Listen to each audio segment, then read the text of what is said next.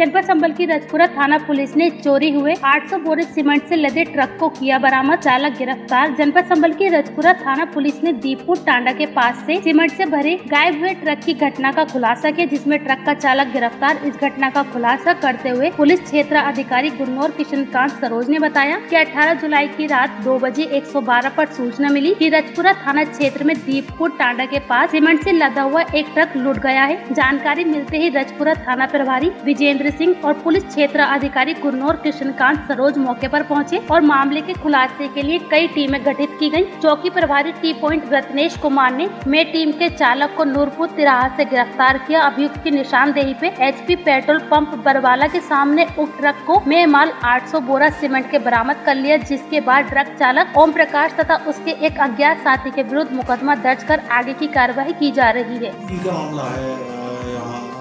समर्पित में। क्या है पूरा ये रात में दो बजे के अठारह तारीख की रात में दो बजे के आसपास यूपी 112 पर फ़ोन आया था कि एक ट्रक लूट गया है दीपू डाना के पास से। इसके बाद जैसे सूचना मिली, पुलिस एक्टिवेट हुई और थाना रजपुरा क्षेत्र में पड़ता है तो थाना रजपुरा की पुलिस, चौकी टी पॉइंट की पुलिस, चौकी गवा की पुलिस और मैं स्वयं और प्लस पूरे गुन्नौर सर्किल की पुलिस को हर नाके पर चेकिंग के लिए लगाया गया। चेकिंग के दौरान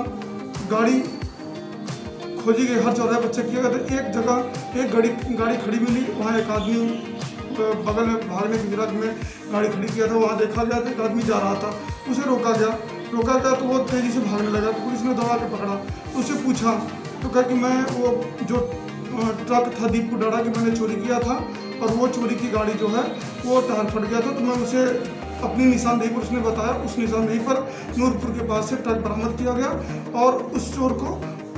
और भी गहराई से पूछा गया तो बताया कि मेरे साथ एक लोग और थे, एक दो लोग, एक लोग का नाम बता रहा है कि एक लोग और थे, जो कि दोनों लोग मिलकर के हम लोग एक ट्रक चोरी का प्लान बनाए थे और ये सीमेंट लगभग सोलह लाख का भरा हुआ सीमेंट था, हम बेचने के फिराक में थे क्योंकि इस ट्रक में जी लगा हुआ था जी सोलह तारीख को डीएक्टिवेट हो गया था, इसलिए मुझे लगा कि मैं ये कर सकता हूँ तो मैंने एक मित्र के साथ उसने ये किया, लेकिन करने में, करना सफल नहीं हो पाया पुलिस ने रंगे हाथ पकड़ लिया पकड़ के मुलजिम से जेल भेज रही है। कहाँ का ट्रक है सर ये ट्रक उत्तर उत्तराखंड के काशीपुर का रहने वाला है। मालिक से संपर्क करके, मुकदमा पंजीकृत करा करके, इन अभियुक्तों को जेल भेजा जा रहा है।